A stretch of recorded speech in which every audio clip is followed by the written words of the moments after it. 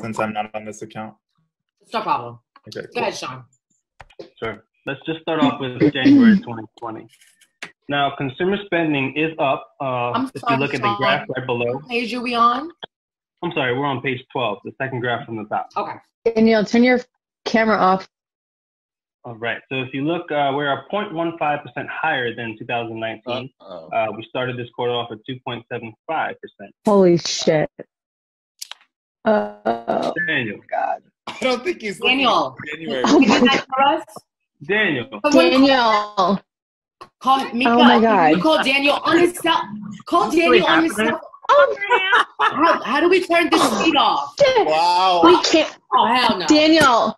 Oh, my God. Daniel is the host. We, holy shit.